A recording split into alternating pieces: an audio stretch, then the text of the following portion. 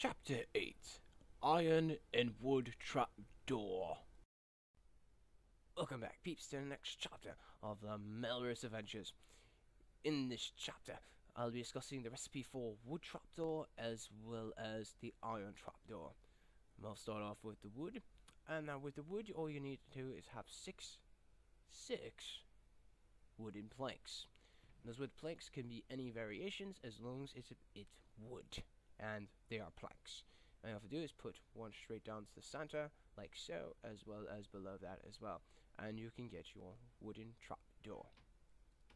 Which can also act as a shelf to put your drink on, but don't do that and it'll fall over. Not a good idea. Now, for the next recipe is the iron trap door.